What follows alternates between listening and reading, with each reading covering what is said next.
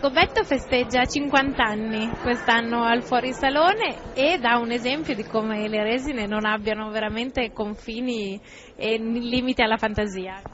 Sì, tutti pensano che le resine siano un'invenzione recente, bisogna ricordare che nascono già negli anni 50 per produrre barchi aerei.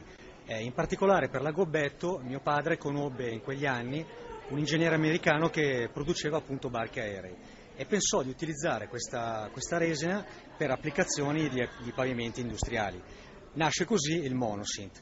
Eh, più recentemente eh, c'è stato proprio un trasferimento tecnologico alla, alle pavimentazioni civili e residenziali, quindi questa resina che ha avuto un grande successo nel campo industriale approda appunto nel, nel civile residenziale.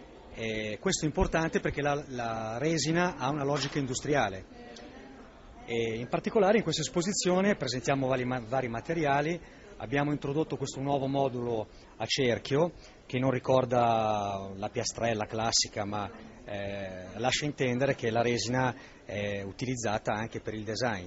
Di come si fa a unire una tradizione di, di prodotto industriale con la creatività?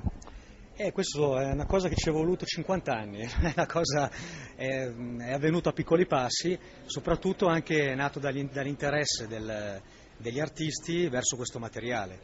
E dei Chi avete che ha lavorato per voi? Ah, qui abbiamo Alex Turco, che è una, un designer famoso, abbiamo eh, Ballantini, che è il, eh, il famoso... Eh, presentatore di Striscia la Notizia che fa Valentino, eccetera. Lì abbiamo Ludmilla Arshenko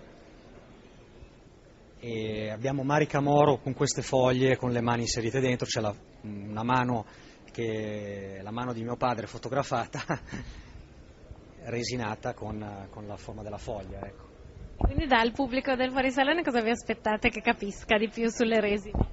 Ma ci aspettiamo che ci sia interesse da parte soprattutto dei giovani, noi siamo molto interessati agli architetti e designer giovani e, eh, perché ha, non ha confini questo materiale, ha possibilità infinite.